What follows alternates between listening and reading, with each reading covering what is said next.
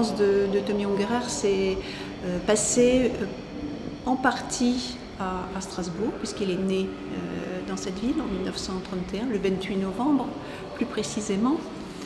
Et à la mort de, son père, Théodore, Tommy Ungerer avait 3 ans et demi, 4 ans, et il est parti avec euh, sa maman et ses frères et sœurs euh, dans, la région de Colmar, euh, plus précisément au Logelbach, qui est une, banlieue industrielle de Colmar, parce que sa famille y possédait des, entreprises ou des usines de, textiles.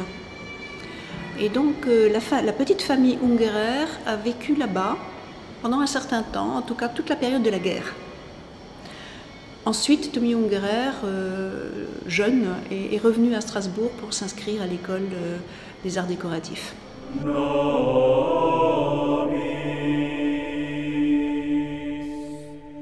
Et cette période de la guerre euh, l'a marqué, l'a fortement marqué, déjà dans ses dessins de l'époque, puisqu'il a carrément fait un reportage, on va dire, en dessin euh, de, ces années de, guerre, avec des scènes euh, aussi parfois violentes, euh, des scènes de bombardement. Et puis aussi tout, ce qui s'est passé autour, c'est-à-dire des problèmes de la vie quotidienne, hein, puisque ce n'était pas facile pour une famille de vivre à ce moment-là en pleine occupation.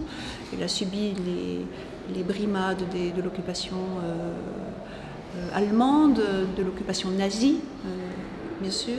Et ensuite, euh, une période qui n'a pas été si simple que cela, euh, celle de la libération par, euh, par les Alliés.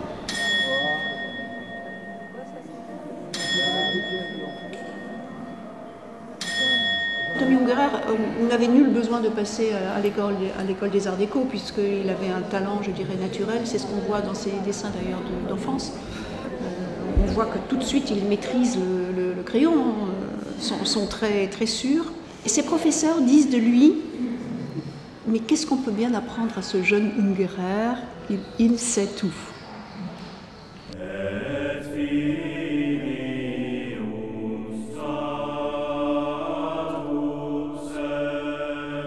Eh bien, c'est très difficile de, qualifier le style de, Tommy Ungerer. Pourquoi?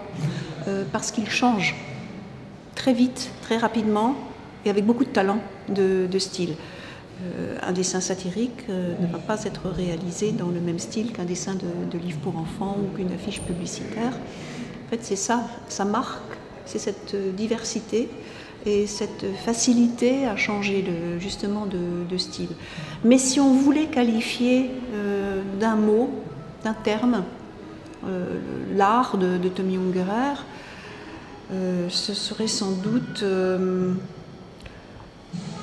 subversif. Il a renversé les tabous dans les livres pour enfants. Ce sont des histoires qui sont subversives, qui ne sont pas des histoires euh, habituelles euh, qu'on peut lire euh, dans les livres pour enfants. La satire est extrêmement subversive chez, Tommy Ungerer. pensez à toutes ces affiches contre la guerre du Vietnam, les affiches politiques. La publicité, son trait, ses idées sont tellement subversives que la quelques commandes ne sont pas acceptées. C'est sans doute ça qu'il faut retenir.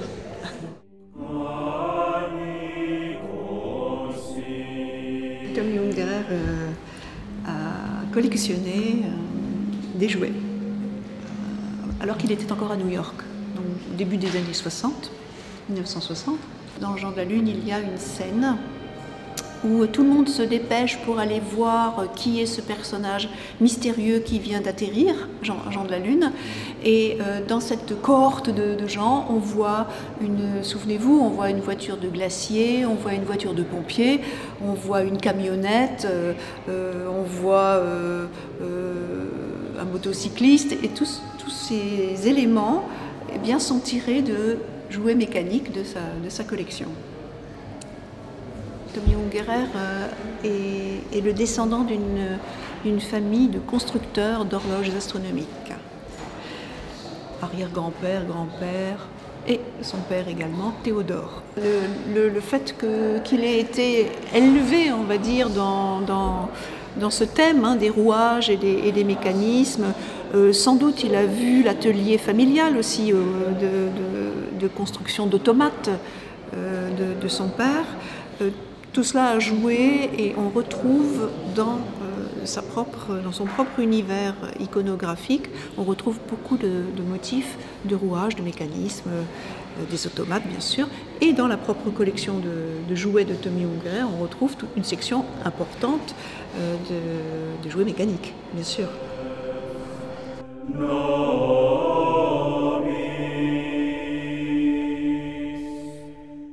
Mais comme tous les artistes, il a dû digérer un certain nombre d'informations et ensuite les a réinterprétées et, ressorties. Euh, c'est le jeu. Tout artiste pratique la même chose. Hein. On est dans un univers iconographique euh, où chacun finalement se sert pour, euh, réinterpréter à sa manière. C'est quelqu'un qui a une, ouverture d'esprit, une curiosité euh, et qui, n'arrête pas de créer. Je crois que c'est ce qui le, ce qui le maintient bien en vie de créer.